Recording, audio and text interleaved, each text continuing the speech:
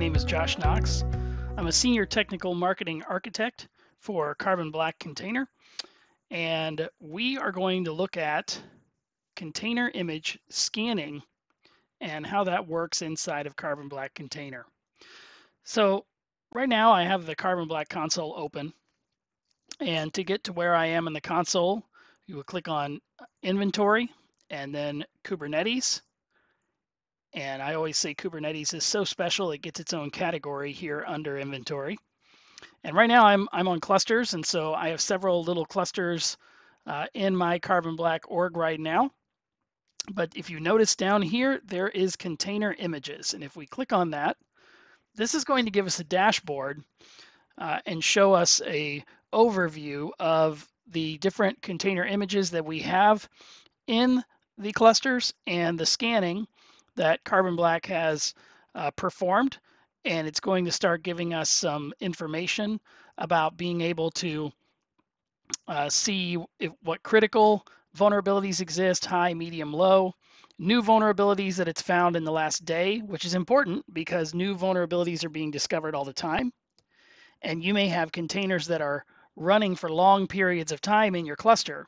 And so this is going to inform you uh, that there are some new uh, vulnerabilities that have uh, been exposed. So before we go any further here, I want to show you a little diagram and talk about scanning with Carbon Black Container. And this is going to be part one of uh, a series here on scanning. This is just the overview that we're doing in this video. And with Carbon Black Cloud, uh, Carbon Black Container, there are four points that I want to point out right now where, where scanning can occur. So you can download the CBCTL tool, which we'll look at in another video, and be able to scan manually on uh, a developer machine or any machine you would like. You can use the, the CBCTL tool to scan inside a pipeline, inside your uh, automation, your CI/CD pipelines and, and your build automations. You can insert it in there. Uh, we have a Harbor plugin that you can put in your Harbor and have scans running there on a schedule or a timer. And lastly, of course, scanning is happening at the cluster level uh, continually to make sure uh, that you are aware of any new vulnerabilities, uh, new images that have come into your cluster, and you're able to scan those and stay up to date. And in in each of these, the data is always being sent back to the Carbon Black Cloud, and you can see it. That's what we were looking at there in the console. And also, if you're using that CBCTL, CBCTL tool, you'll also be able to see that uh, in the command line on the machine that you're running it from, or in the logs of whatever build process you're using. So now that we know that, today we're, we're really just focusing on all this data that comes back to the Carbon Black Cloud, and I want to give you an overview of what data you're receiving from all these different points. So let's go back to the Carbon Black console. All right, so here we are on the dashboard again, and we have some other tabs. Oh, and by the way, there's file reputations here is malware that has it is found.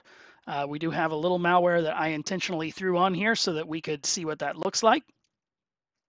We have some tabs up here. We're on the overview tab right now.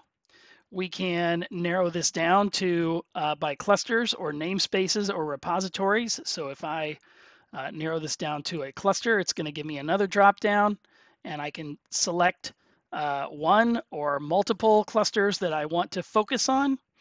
And in this case, I'm going to pick this test cluster and I see uh, what what the overview of the scans uh, shows me right here. So the next tab over, we're going to click off this and we're just going to go back to everything. And the next tab is deployed images. So when we click on this tab, these are the images that have been deployed in our clusters. Now immediately what jumps out at us is this malware right here because this is the uh, container that I deployed on purpose with some malware in it so that we could trigger this and so that you would be able to see um, what happens here but these are the images that are deployed um, in our clusters. And a lot of them are ones you would expect. Um, there's the operator for Carbon Black. Uh, Kubernetes Goat is a vulnerable app that I have installed for demo purposes, um, etc. The next uh, tab here is the image repo tab. When we click on that, this shows us all the different repositories that we are pulling our images from. Now, if you are in a larger enterprise environment, uh, this may be very important because you want to narrow down and make sure that you are only pulling images from trusted repositories. So obviously I've been pulling several from Bitnami. Can see here, there's the Carbon Black Artifactory. That's expected, core DNS, and these are these are Kubernetes core components down here that they were pulled from. And then this this GitLab down here, these are, are little images that I have made uh, and they're coming from my harbor that I have. So this gives us a great overview of where our images are coming from and can help us when we're trying to create policies or narrow down and make sure that we are pulling our images from trusted sources. The scan log over here on the end is going to show us uh, things that have been scanned recently. Now in this case, I have it narrowed down to a day, so there's only been a couple things that have been uh, scanned in the last day or so. Uh, the operator here uh, hit a new version, and so it got scanned again. And you can see here, this is my, a couple of my little Docker images that I have uh, run. Now you'll see here the source, this says that this was a cluster scan. So this was an automated scan because of a change in the cluster, whereas these two scans were initiated by the CLI. And when it says that, uh, these are scans that I ran in a uh, GitLab runner. Now we'll wait and, and look at that in part two, but just know that this is where you would see those scans that you run from your build processes. So let's go back here to uh, deployed images again. And now we're going to focus in on uh, one particular image. So this is my image that has the malware in it. Let's take a look at it and we will see what other information that we can find out. So when we click on it, uh, we are given here a page of a lot of information from this container. We see that it is from the harbor.nox.rocks uh, registry. And inside that registry, it is the GitLab Python extra repo. And so this is the overview for it. We see that here, the registry, the repository it's coming from. The lay, has 21 layers in this layers tab that we'll look at here in a second. It's a Debian container, just all kinds of great information here. Now, uh, if we look over here, we see we have a file reputation, and that means that it found, uh, if it has a reputation, it means that it is malware, and that's why it's over here as critical. So let's look at next the layers. Now this is a great feature a lot of times you pull an image from online and you don't know who touched that image before you did, and you're not sure exactly what is in the layers on uh, these images. And so we can go all the way back to the very beginning. We already know this is a Debian uh, image. We can look at the layer. We can see packages that were used in the layer, uh, all 119 if we wanted to and we can see the vulnerabilities that are introduced at that layer.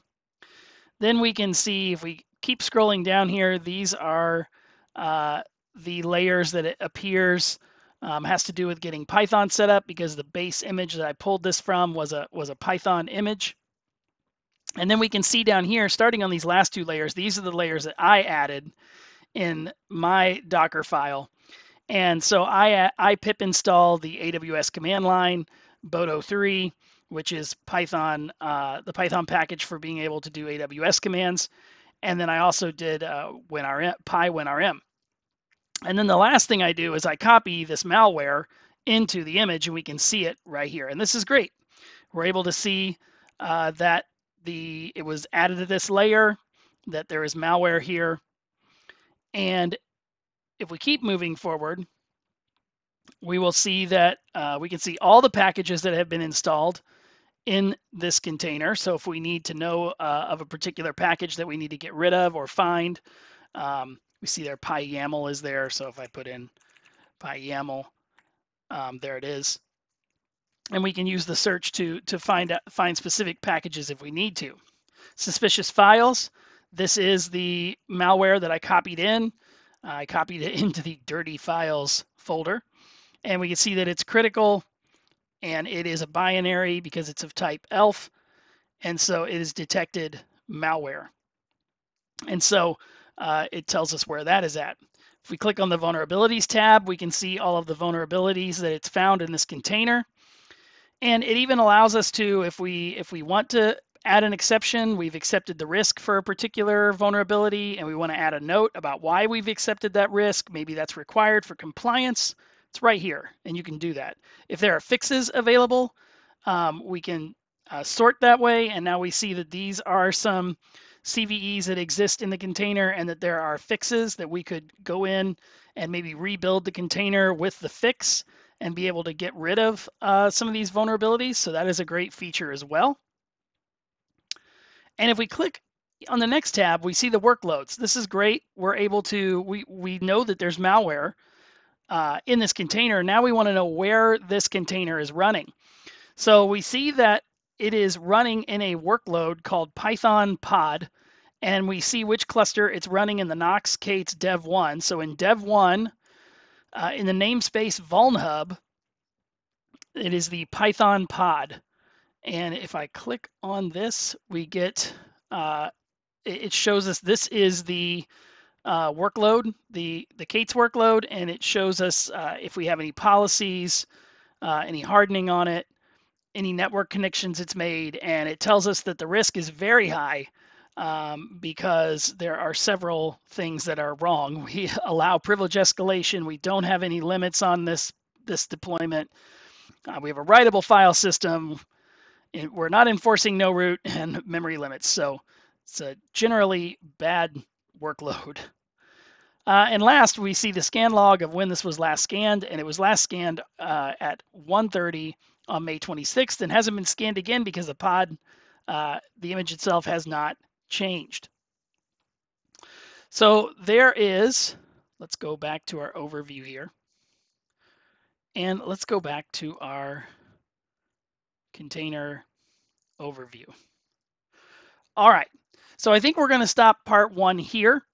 Uh, but there is, I, hope you've seen there are, there's so much information and you are able to get great visibility into the images that are in your environment.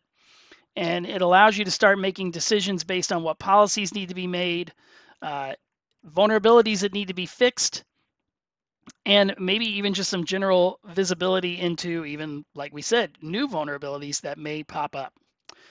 All right, in part two, we are going to take a look at the CBCTL tool and we'll scan a few images. We'll get that set up and we'll scan a few images uh, locally um, in the command line. Thanks for watching.